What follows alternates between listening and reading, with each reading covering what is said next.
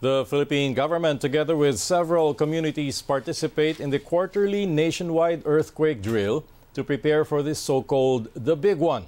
Bianca Dava reports.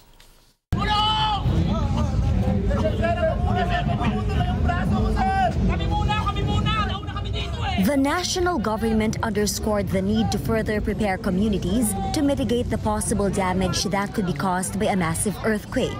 On Thursday morning, the Office of Civil Defense conducted its second quarter nationwide simultaneous earthquake drill this year. The scenario, a magnitude 7.2 earthquake, hit Metro Manila.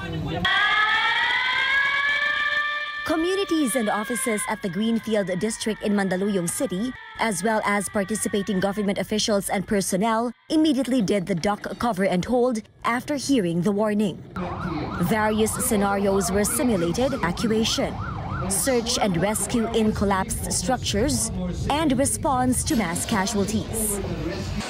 Personnel of the Philippine National Police also participated in the drills by evacuating to an open area at Camp Crame.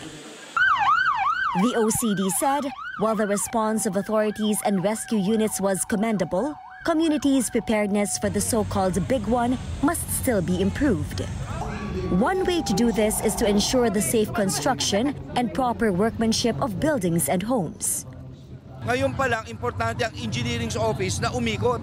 Tignan yung mga hindi mga safe na buildings. Yan ang pwedeng gawin natin ngayon. Yung mga bahay na maliliit na pwedeng mag-collapse kaagad. Malaking papel ng LGU rito. Lalo na ang barangay. Ang problema sa kahandaan ng mga gusali sa Metro Manila, at lahat naman sa buong mundo ganon, yung residential building na non-engineered o luma ng mga mid-rise building. Okay? Yun po yung lumalabas na statistics. Kung matutulog ang mga tao doon, doon ka mag-expect ng maraming casualty. Pag sa araw naman at may trabaho sila, mababawasan ngayon yung ano mo doon, yung casualty, at pupunta sila sa mga opisina, sa mga faktorya na hopefully mas matibay. In a study conducted by the Philippine Institute of Volcanology and Seismology, Metropolitan Manila Development Authority, and Japan International Cooperation Agency, an estimated 60,000 people in Metro Manila, Central Luzon, and Calabarzon will possibly die if the big one will happen at night.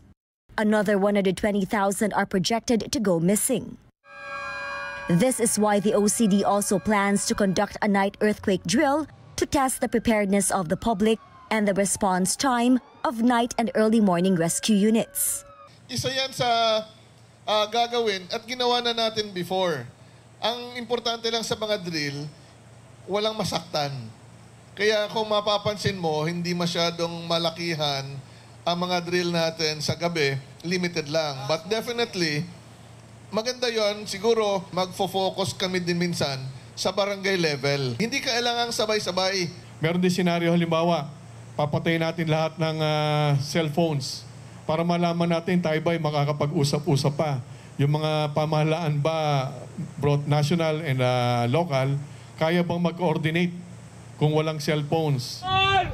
The nationwide simultaneous earthquake drill is a quarterly event with the next exercise set in September this year.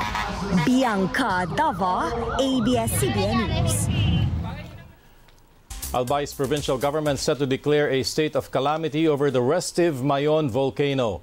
Bright orange lava flow seen on the volcano Thursday night. The latest unrest comes after authorities raised the volcano's alert level to 3, signaling an increased likelihood of a hazardous eruption. State volcanologists say Mayon volcano is already ripe for another eruption this year, but they still hope the imminent eruption will still change its course. The difference right now is that we don't see a high amount of sulfur dioxide. So we are actually hoping for a 2014 scenario, which is just uh, rockfall events followed by uh, short lava flow and then it stopped. Hopefully, it will not go uh, the way of the 2018 uh, activity. The magma is being replenished and Mayon volcano is actually uh, uh, the, the earliest would be uh, three years uh, after the last eruption, and the, the latest would be 10 years after the last uh, eruption. So we're uh, the last time it erupted was 2018, and it's uh, been five years now. So again, we're on the range. Evacuations expected to begin today for residents living inside the 6 kilometer permanent danger zone of the Mayon volcano. The provincial government of Albay has allocated 30 million pesos in calamity fund, but local authorities are calling for more help to sustain the needs of the evacuees. May evacuation na po kami na gagawin kasi talagang delikado din po ito sa tao natin. Then nagpe-prepare na po tayo. Then may coordination na po din tayo sa DSWD na para sa food pack nila po. Kasi kung darating po sa 7 kilometers, aabot po kami ng 3,000 families ang pwede i-evacuate po namin. Ang pinakakailangan po natin, syempre po pagkain.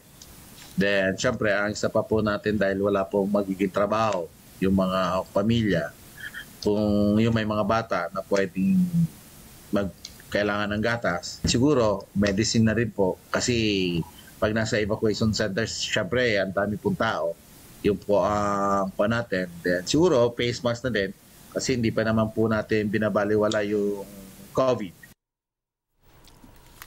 PHIVOLCS meanwhile appeals for calm as three volcanoes simultaneously show signs of increased activity. Aside from Mayon, Taal and Mount Canlaon are both under alert level 1. But PHIVOLCS says the scenario is not out of the ordinary. The public, though, is still advised to remain vigilant and heed calls for evacuation. We have 24 active volcanoes, and there's always this possibility that you know one or two uh, volcanoes would be restive and would would show some um, activity uh, simultaneously. So this is not surprising. Canlaon volcano, um, it again, as I've said, has always been active since uh, uh, on alert level one since 2020, and um, yesterday we only record one low frequency volcanic earthquake, uh, which is lower than the nine uh, volcan uh, volcanic earthquakes that we saw the day before. El Nino has arrived. That declaration from scientists at the U.S. National Oceanic and Atmospheric Administration. They say the climate phenomenon can cause a range of impacts from heavy rainfall, droughts, up to extreme temperatures. Scientists also warned climate change can exacerbate the effects of El Nino. Most of the warmest years on record have occurred during periods of El Nino, and scientists fear this year and the next could see record temperatures. Here in the Philippines, forecasters say El Nino may impact Mindanao the most, with its effects expected to be felt until next year. An update on Typhoon Chedeng now. The storm maintains its strength and has possibly reached peak intensity. But State Weather Bureau Pagasa says the storm remains far from Philippine landmass. It was last spotted around 870 kilometers east of central Luzon, packing maximum sustained winds of 130 kilometers per hour and gustiness of up to 160 kilometers per hour. Chedeng is expected to exit the Philippines by Monday.